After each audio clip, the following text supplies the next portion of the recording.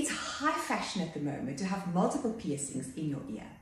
Of course, I dashed to Pinterest for some great jewelry ideas, and in my search for beautiful pieces, I found that many people in the ear area have blackheads.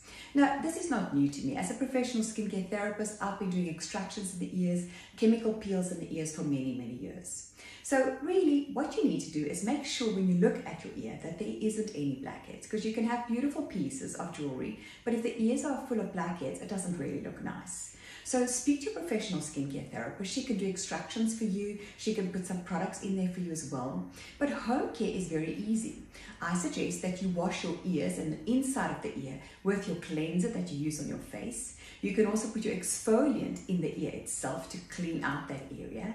And there's nothing wrong with putting some moisturizer inside the ear and also on top of the ear. Now, don't forget if you do go out in the sun and you're wearing a cap, it doesn't often cover the ear area. So you need to make sure that you put sunscreen on the ear area itself to protect it because you can get hyperpigmentation in this area. I've also found some of my clients that do high impact aerobic type exercise where they sweat a lot. The sweat runs down and they also get blackheads and pimples behind the ear.